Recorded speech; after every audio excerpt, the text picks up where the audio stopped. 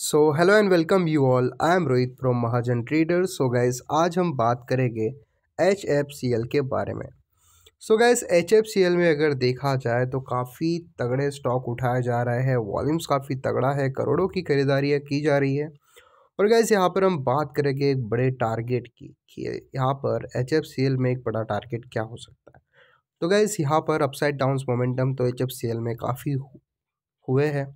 और काफ़ी तगड़ी गिरावट भी हमें देखने को मिली है और उछाल भी हमें देखने को मिला। जैसे मार्केट अगर देखो तो कल काफ़ी ज़्यादा गिर गया था और आज बिल्कुल इसमें रिकवरी चल रही है। तो गैस यहाँ पर एच एफ़ सी एल में जो बिगिनर्स हैं, उनके लिए सही स्टॉक है। तो देखेंगे क्या अगर आप ख़रीदने की सोच रहे हो तो वीडियो देखो, पूरा समझ जाओगे गैस तो गैस आज बात करेंगे एच एफ़ सी एल के बारे में। सो काफ़ी कुछ बातें होगी तो वीडियो को एंड तक देखना। और गैस अगर अभी तक आपने चैनल को सब्सक्राइब नहीं किया है तो प्लीज़ चैनल को सब्सक्राइब कर देना फोर शेयर्स के अपडेट्स के लिए। शेयर्स के लेटेस्ट न्यूज़ के लिए तो वीडियो को करते हैं स्टार्ट तो गाइज़ बात करेंगे H F C L L T D के बारे में। H F C L L T D काफ़ी नाम चलता है स्टॉक का। और बिल्कुल अब देखा जाए तो यहाँ पर कितना स्टॉक बढ़ गया है? उनसठ पॉइंट पिचासी रुपये पे स्टॉक कर रहा है ट्रेड और देखा जाए तो चार रुपये तक की एक बढ़त हमें देखने को मिल रही है। Six point twenty six percent के हिसाब से स्टॉक में तेज़ी यहाँ पर बनी हुई है। बिल्कुल यहाँ पर तेज़ी का माहौल बना हुआ है और किस वजह से? क्या इसमें वॉल्यूम है? वो हम देखेंगे और चार्ट को अगर आप देखोगे, काफ़ी प्यारे चार्ट बन रहे गए और किस पर्टिकुलर लेवल पे इन्वेस्ट करना चाहिए, वो भी मैं आपको बताने वाला हूँ। सो गाइस चार्ट पे चलते हैं और यहाँ पर अगर देखा जाए तो एच एफ़ सी एल में मैंने पहले भी कई बार बोल चुका हूँ इन्वेस्टमेंट के लिए और कई लोगों ने यहाँ पर इन्वेस्ट किया भी था। मैंने एक बार सत्तर रुपये के आसपास मैंने बोला था ख़रीदारी करने के लिए और मैंने पचास रुपये भी ख़रीदारी करने के लिए बोला था। मैंने उससे भी नीचे मैंने ख़रीदारी करने के लिए बोला था।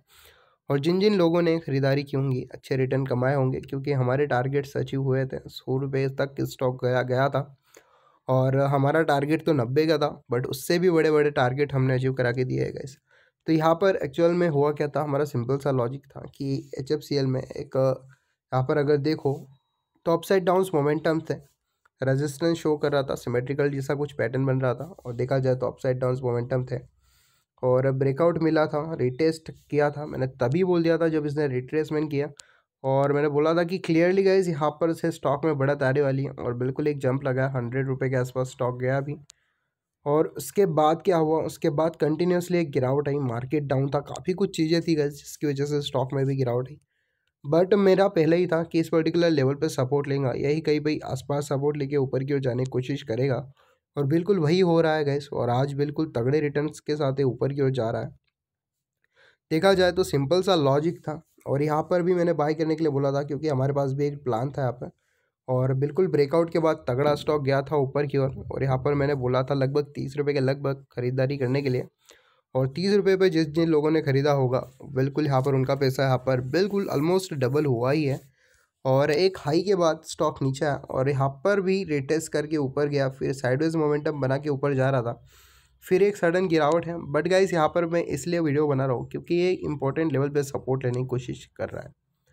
यहाँ से स्टॉक सपोर्ट लेके ऊपर की ओर जाने की पूरी यहाँ पर पॉसिबिलिटीज यहाँ पर दिखाई दे रही है और ऐसा ही अगर चलता रहा। तो गाइस यही नहीं बोल रहा हूँ मैं क्योंकि बड़े टाइम फ्रेम पर भी हमें बड़ा ब्रेकआउट मिला था। यहाँ पर अगर देखा जाए, यहाँ पर रिजेक्शन लेके स्टॉक में एक बड़ी गिरावट आई थी, फिर रिजेक्शन लेके गिरावट आई, फिर रिजेक्शन लिया, फिर कंटिन्यूसली गिरावट आई। फिर अचानक सडन ही इसमें एक बड़ा यहाँ पर मोमेंटम हमें देखने को मिला है। स्टॉक बिल्कुल पचास रुपये के लेवल को तोड़कर कहाँ पर गया है, आप सभी देख ही सकते हो। और बिल्कुल गैस यहाँ पर रिटर्न्स दिए हैं स्टॉक ने और बढ़त भी है। पाँच दिन के टाइम फ्रेम पर अगर देखा जाए छः रुपये ज़ीरो पाँच पैसे तक स्टॉक ऑलरेडी गिरा हुआ है। एट पॉइंट नाइनटीन परसेंट के हिसाब से गिरावट है। एक महीने में तेरह रुपये पचानवे पैसे तक की गिरावट है, सत्रह पॉइंट ज़ीरो पाँच प्रतिशत के हिसाब से। और छः महीने की अगर बात कर लूँ तो यहाँ पर आप देख सकते हो, दो रुपये पचानवे पैसे तक बढ़त हमें देखने को मिल रही है। Four point fifty five percent के हिसाब से स्टॉक में एक तेज़ी का माहौल है। वही अगर देखेगा इस मार्केट कैप स्टॉक का क्या है? तो मार्केट कैप यहाँ पर nine point thirty four thousand crore के आसपास का मार्केट कैप है और मार्केट कैप के हिसाब से तो क्लियरली पता चल जाता है कि एक मिड कैप स्टॉक की कैटेगरी में आने वाला है शेयर है। और अगर बात कर ले इसके पी रेशियो की twenty six point sixty six का पी रेशियो डिविडेंड की बात करूँ ज़ीरो पॉइंट ट्वेंटी टू का डिविडेंड भी है।